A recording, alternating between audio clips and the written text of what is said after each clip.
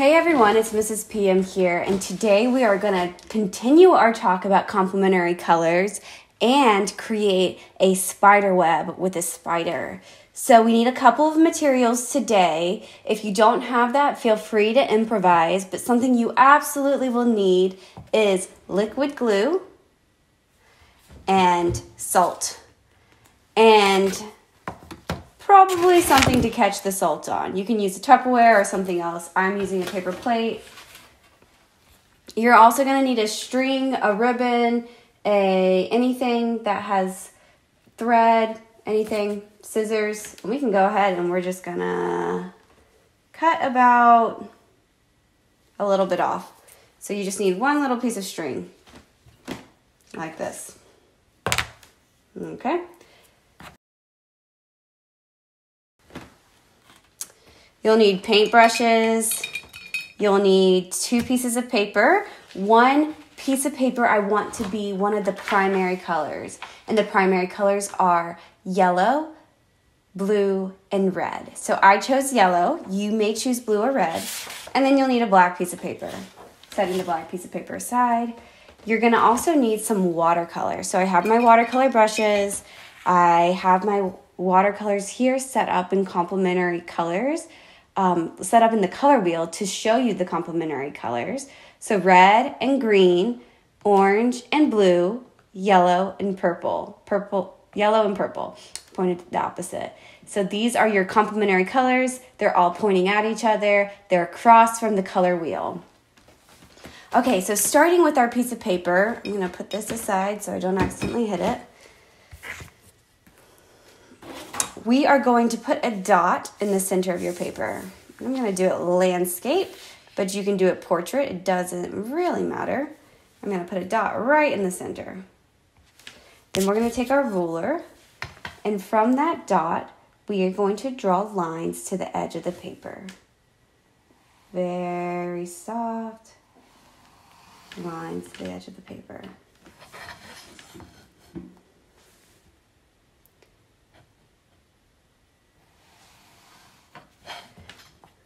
And you can decide how close or far apart you want your lines to be.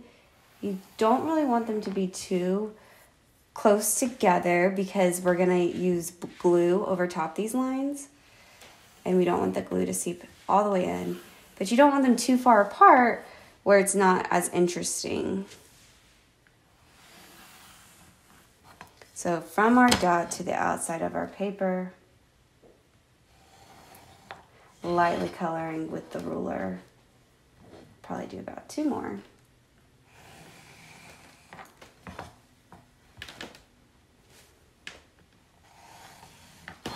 There we go. So now you have something like this.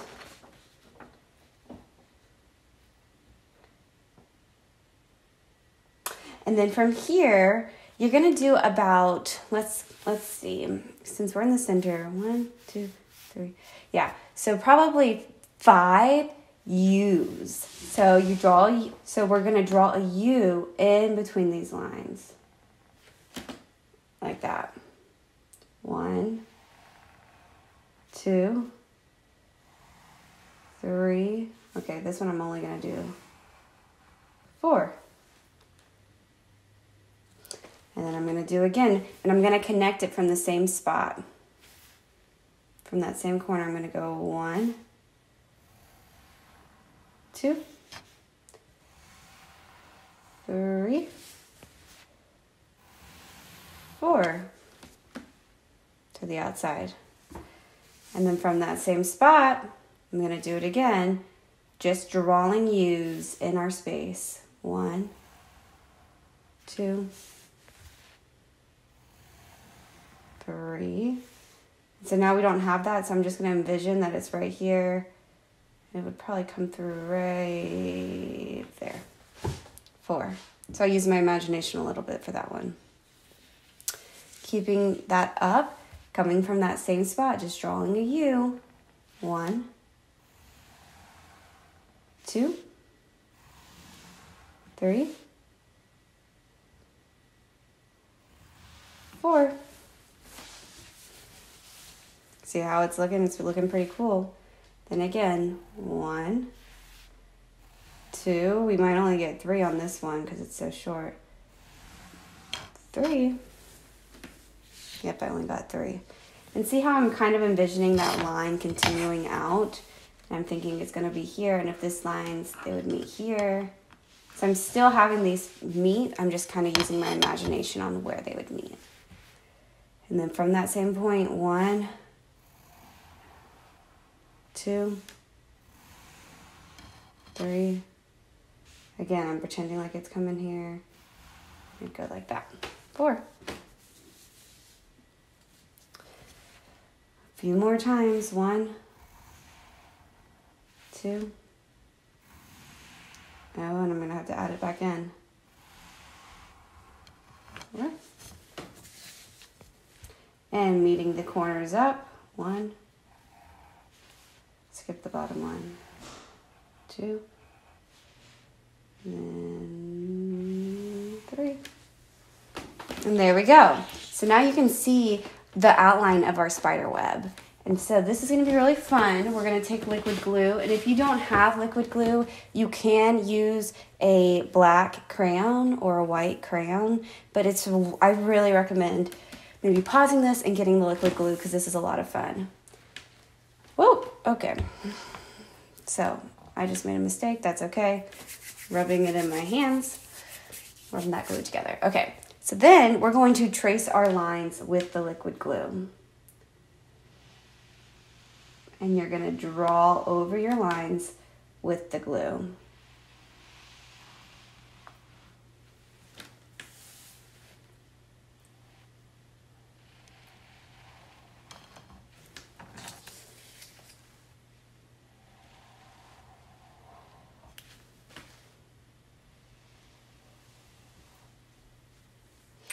Going to halfway my to go halfway on, around my paper so that my hand doesn't get glue all over it. And then I'm going to fill in these U's.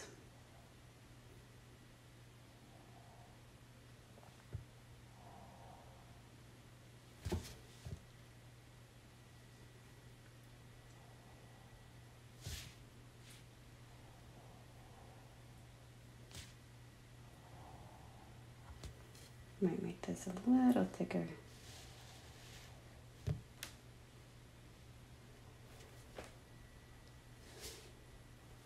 And just be careful not to get your hand in the glue. I know it's kind of hard.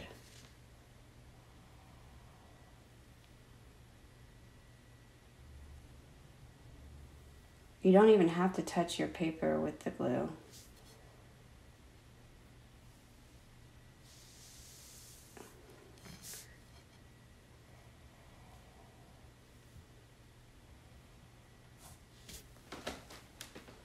Mm, and off doing these lines.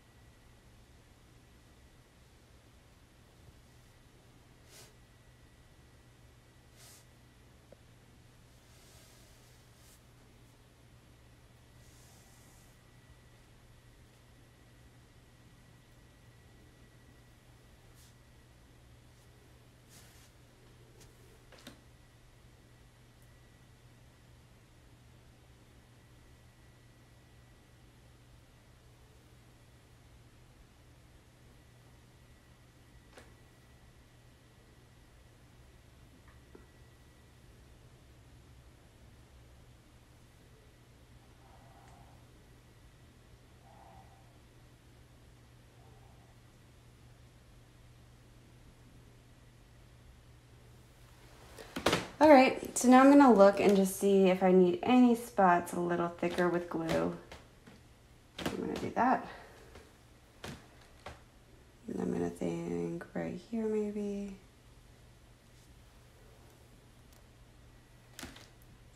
And see how like the thick spots actually make it look more like a spider's web? So you don't have to be a super big perfectionist with this. And then from here, this is the messy part. You might think that the glue is already messy. Even more. we are going to take salt and cover your paper with salt. Go all over the glue. And so already you might be freaking out that it's so messy. You may want to do this in like a plastic bin. You're welcome to do that.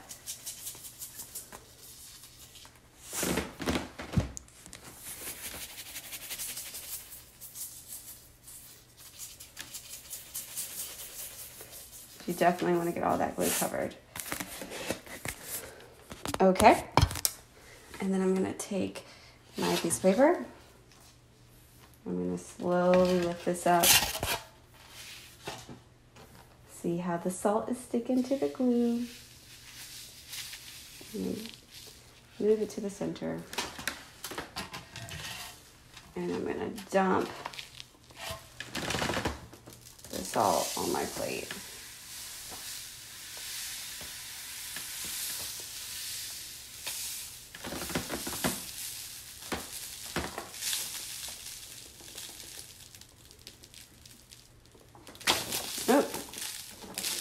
shaking it out. Here we go. Um, so you may need to clean up a little bit. I need to clean up a bit. So I'm going to put that aside. And I'm going to dump my tray in the trash.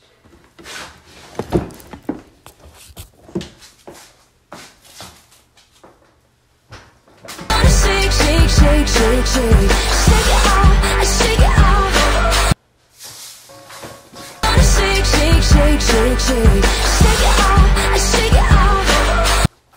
I'm definitely gonna need to vacuum, but it's gonna be a lot of fun. It's worth it.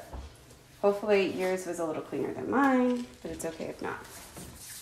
Okay, so next, take your watercolor and whatever color paper you chose, choose the complementary color of that paper. So I chose yellow, and my little circle is, is messed up. But across from yellow is purple, so I'm going to choose purple. If you chose blue, you're going to pick orange watercolor. And if you chose red, you're going to do green watercolor because we are doing the complementary color. So, so I chose purple and I'm going to get my watercolor really wet, fill my whole brush with paint. And remember, you are using the complementary color of whatever your paper is that you chose. And you're to take your brush and you're just going to touch the salt. Put my water over here. And see how it spreads. Isn't that cool? I'm just going to touch the spots where the salt is.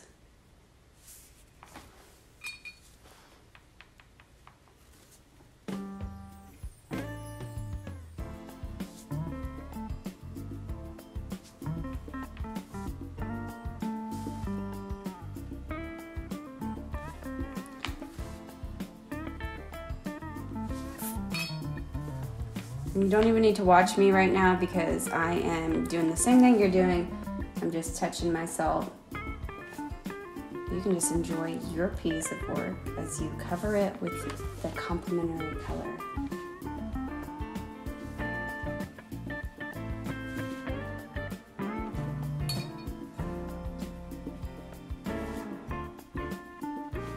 You watch it spread.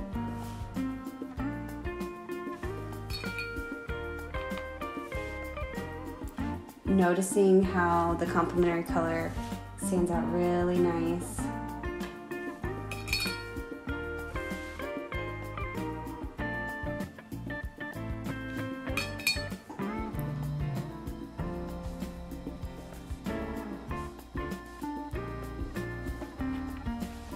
because complementary colors are used by artists to create striking visual effects and to create contrast and emphasis.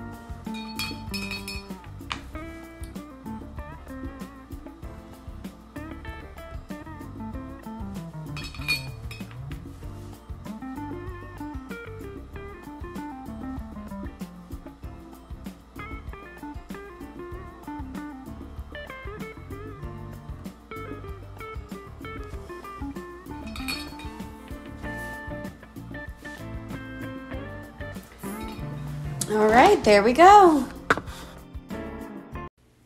So we're gonna get a black piece of paper and we are going to fold it in half like a hot dog, like a hot dog bun. So fold it in half like a hot dog bun.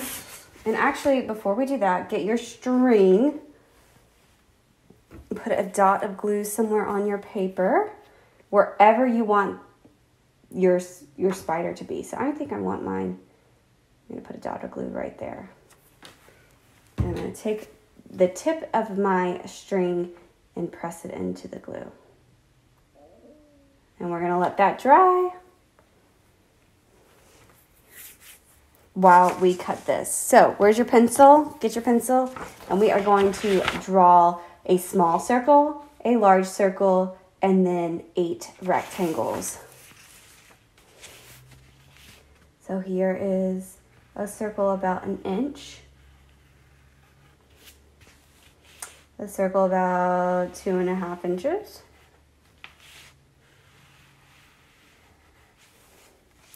and then one rectangle, just like that. Can you, I'm not sure, there it is. One, two,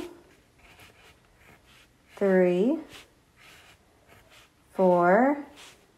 Anyone want to guess? Five. What these are going to be? Six, seven, eight. They are going to be the spider's legs because they have eight crazy legs. And here we go. And now we are going to cut that out.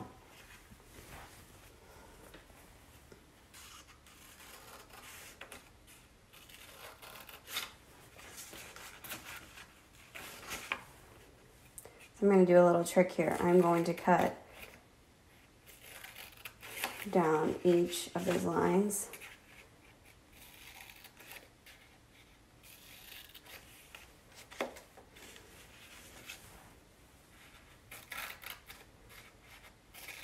You can cut your shapes out however you want to, whatever you think is best.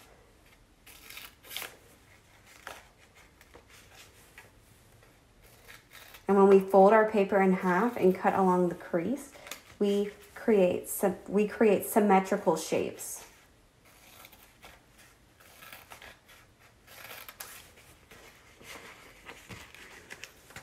And I'm just gonna come in and I am going to, actually I'm gonna have 16 legs if I do this. Cut down the line. And I'll have lots of legs to pick from. Boom. All right, cutting my circles.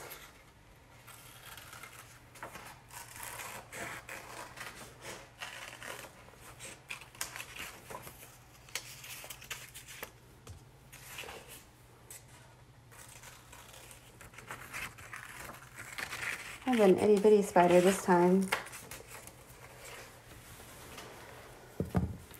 And while that glue still dries, we are going to assemble our spider. So I want you to put the glue on the side that has your pencil marks so that you don't see your pencil marks. You're going to put a little dot on the top or bottom of your small circle. That was a big dot but you do a little dot and then you're going to attach it to the body.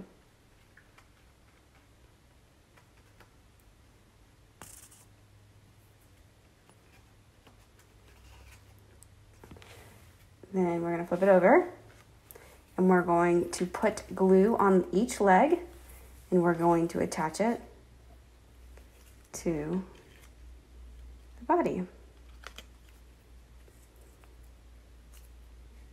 And a little bit of glue goes a really long way.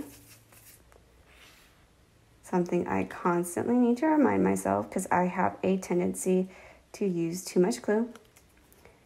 But hopefully you are better at glue than I am. So it's dripping out everywhere. So four legs on each side, even though I have a ton of legs now. Just do four on each side. And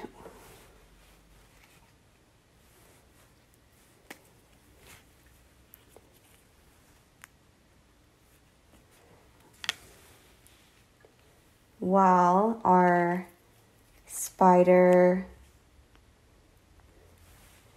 dries, well, we're going to do one more piece of glue and we're going to put it on the spider's bottom just a drop because we want the the silk, the string to come from the bottom of the spider. Look, my string started turning purple. That's actually cool. Little happy surprise. Okay. And we've attached the spider to the web. See?